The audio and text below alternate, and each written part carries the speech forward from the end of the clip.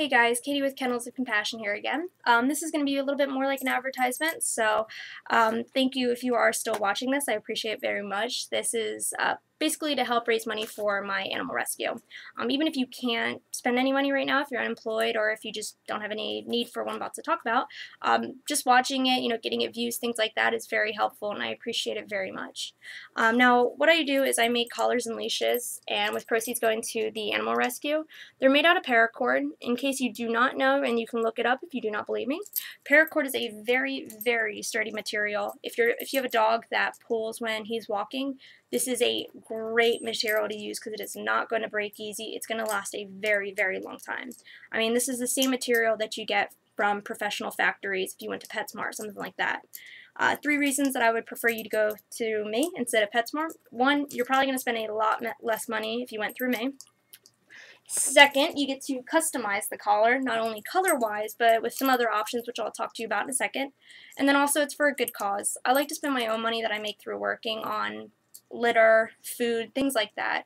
Now, donations and things like this, money I make from things like this, I like to use that money for feeding uh, feral and stray cats, for having them spayed and neutered, as well as medical costs. You know, if we get an animal in the rescue who has a broken leg, something like that, usually I, actually, I know for a fact, I just don't have that kind of money laying around. So I work from home, I work a commission-only job, so I don't make a lot of money. I barely am able to pay my bills. So we use the donations and stuff like that to help animals that are sick, that are injured, that are homeless, that don't have people fix or getting them fixed or feeding them and things like that. So every little bit helps. You know, even if you can donate one dollar, we say thank you and we mean that from the bottom of our hearts. One dollar does add up and it does make a difference. So um, with these, there is a minimum cost. You know, obviously, if, if you try and offer me five dollars, I'm going to tell you no.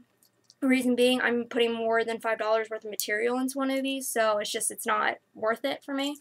But, um, you know, there's a minimum cost, but you get to donate what you feel is acceptable, what you feel you can do comfortably financially. Uh, now, I have all sorts of colors, but I'm always willing to go out and get more colors. I actually want to do a Halloween collar for Walter. It's October 3rd, so Halloween's coming up. And then I want to do a Christmas one for him, too. So if you want a holiday-themed one, let me know, and I'll make sure to go out and get those colors in case I don't have them. Um, right now, I have navy blue, I have hot pink, yellow, white, black. Um, for larger dogs, I actually have even a thicker material. So you know, it's going to be even better for like a Great Dane or something like that. If your Great Dane pulls on his collar and leash, this is something that is still going to last and still going to stay. You know, it's going to last you a long time. I can't say that enough. Now, another thing you need to customize, um, there's different beads that I have. I have, you know, what I call my Indian beads or turquoise, things like that. I've got butterflies and pink, silver, gold. Um, I've got a bunch of different kinds of wooden beads. So there's just a lot of different options that you can do. Um, the with the beads, where it's black in here, that's where the beads would go, and then you'd still have the colors on the outside. Uh, now, on top of that, here's a good example. Every collar, I recommend standard clips, but I have different clips, which I'll show you in a second. And then every collar also comes with an ID tag ring, so you can put your dog's ID on it. But then also little things like this, if you want to have, you know, order that as well. Um, I have different things. I actually have seashells that I got while I was in Mexico. So if you want, you know, a seashell, I recommend these more so for like a bracelet for yourself. I usually like to do matching. So, you know, I'll make your dog a paracord, collar, or leash, and then I'll make you something out of hemp. Now, if you want paracord as well, that's perfectly fine. Like I said, this is to make you happy. It's custom, so whatever you want.